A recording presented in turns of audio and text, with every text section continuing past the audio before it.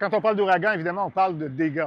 Mais maintenant, le nerf de la guerre a changé. C'est-à-dire que les gens qui avaient pris refuge dans les hôtels veulent retourner sur la côte, retrouver leur maison, voir s'il y a eu beaucoup de dégâts. Et tout le monde se précipite en voiture pour retourner vers la côte.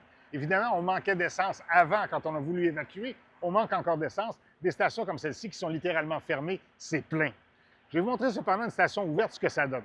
Celle qui est juste de l'autre côté de la rue, ici, vous la voyez, elle est ouverte. La queue pour commencer à mettre de l'essence commence là-bas.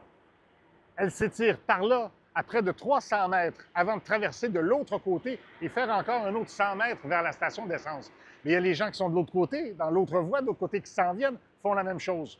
J'estime que les gens qui sont ici vont attendre une heure, probablement plus deux heures avant de pouvoir faire le plein. Et pour retourner à Bemba, à Tempa, pardon, c'est encore par choc à par choc.